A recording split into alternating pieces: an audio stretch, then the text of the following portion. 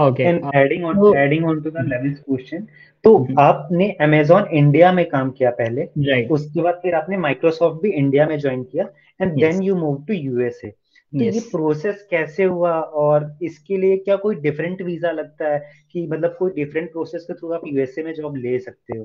तो ये पूरा प्रोसेस के बारे में आप अच्छे से far as out going outside is concerned, uh, तो डायरेक्टली यूएस आना बहुत मुश्किल है कि अगर आप इंडिया में काम नहीं कर रहे हो और डायरेक्टली आप यूएस आना चाहते हो फ़र्स्ट जॉब पे दैट इज़ वेरी मुश्किल क्योंकि uh, यहाँ पे डिफरेंट क्लासेस ऑफ़ वीज़ा है राइट लाइक like, जैसे एल वन भी हो गया एच वन भी हो गया या फिर आप यूएस सिटीजन हो।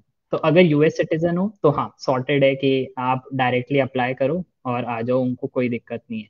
But some visas work a little differently तो जैसे L one is employer specific visa कि एल वन में भी दो क्लासेस हैं L one A and L one B तो L one B is IC focused कि इंडिविजुअल कॉन्ट्रीब्यूटर्स के लिए बनता है और L one A is more for managers like TPMs या फिर एस डी एम्स हो गए जो मैनेज कर रहे हैं राइट तो उनको वो जस्टिफाई करना पड़ता है कि आपके डायरेक्ट रिपोर्टीज कौन है।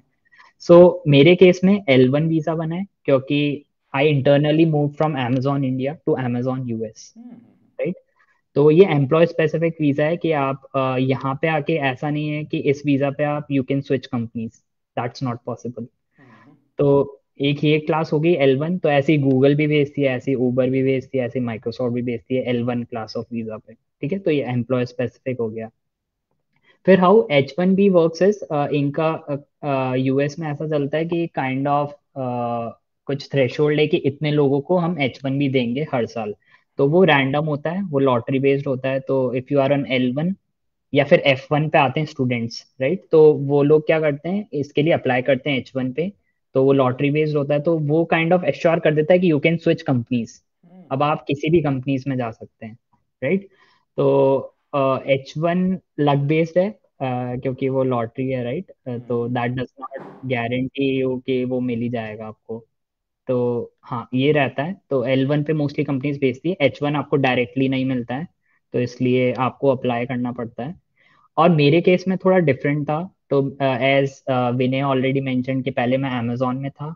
फिर after getting promoted I join Microsoft right तो how did I then apply directly to US Amazon right तो एल वन का if you read visa eligibility criteria तो उसका ऐसा है कि in last three years you should be employed with the employer for at least one year. तो ऐसा है कि हाँ मतलब एटलीस्ट वन ईयर कंटिन्यूस आपने काम किया हो लास्ट तीन साल में।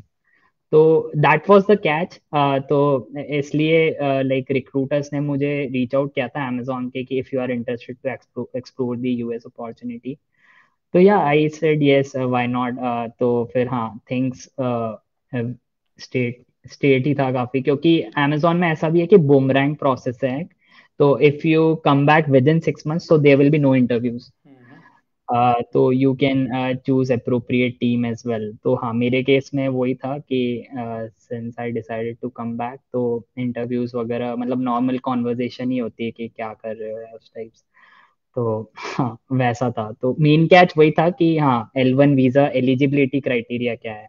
That was important